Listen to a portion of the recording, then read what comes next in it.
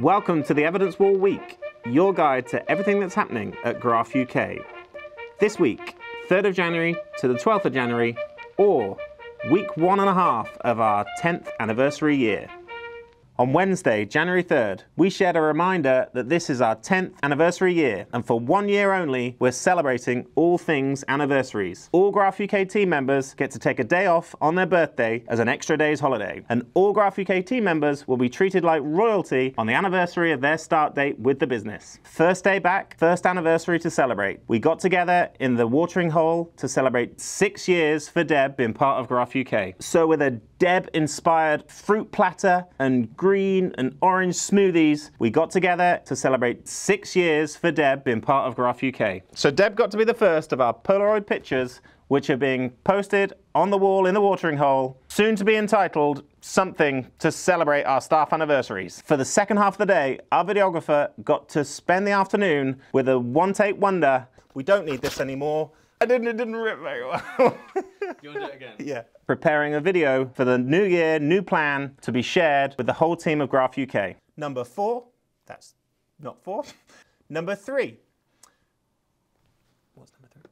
On Thursday, January 4th, Chef Alan got to show off his barbecue skills as we celebrated three years of Charlie Barnett with the one thing everyone thinks of when you think of Charlie Barnett sausages. Congratulations, Charlie. We definitely noticed you successfully ate at least two sausages per each of the year you're celebrating. We also acknowledged Charlie's recent promotion, which was celebrated within the whole team in the training room.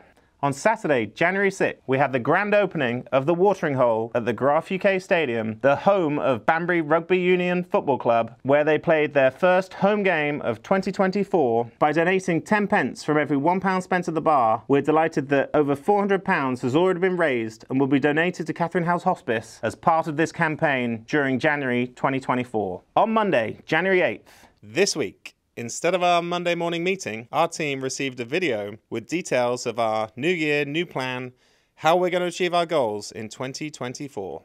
On Tuesday, January 9th, we celebrated Seb's one year anniversary. Albeit over Zoom, we got together, we saw each other, we delivered a certificate, we took his Polaroid. It will soon be on our Polaroid wall. Congratulations to Seb for celebrating one year.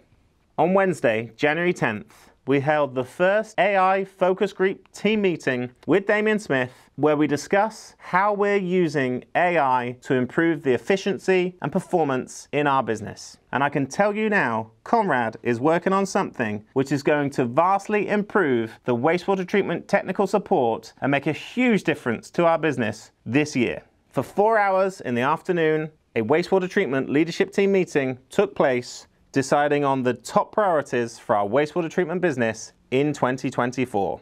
On Thursday, January 11th, we held our first CPD of the year on stormwater management, followed by our garden business unit leadership team meeting, where we spent four hours mapping out our plans as to how we're going to grow our garden business during 2024.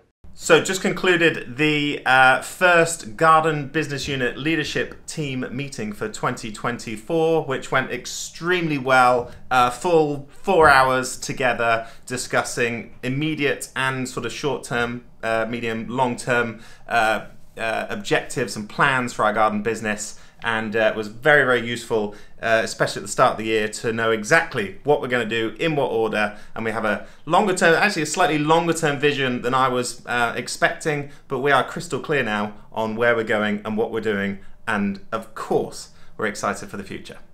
On friday january 12th it was a big day seeing the completion of our yard extension providing us with significant additional space Thanks to Richard and his team for completing this within the first two weeks of January, ready to get back on site installing stormwater tanks for us from Monday, the 15th of January.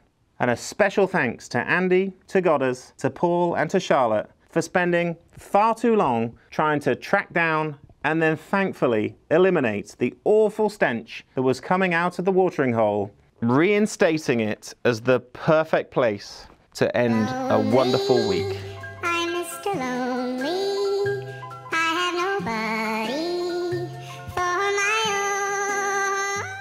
So there you have it, week two at Graf UK. Solid start to the new year, and we're excited for the next 50 weeks to share with you what goes on behind the scenes at Graf UK.